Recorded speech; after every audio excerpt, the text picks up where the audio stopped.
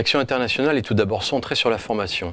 À ce titre, si l'ENSOSP accueille de nombreux étrangers en son sein, elle organise et dispense des formations dans de nombreux pays, permettant ainsi de promouvoir nos domaines de compétences reconnus. Ainsi, des partenariats se sont créés avec une douzaine de pays au travers de conventions bilatérales sur des thématiques de formation et de recherche. Désormais, de nombreuses délégations visitent l'école chaque année pour s'imprégner de son savoir-faire et de ses outils.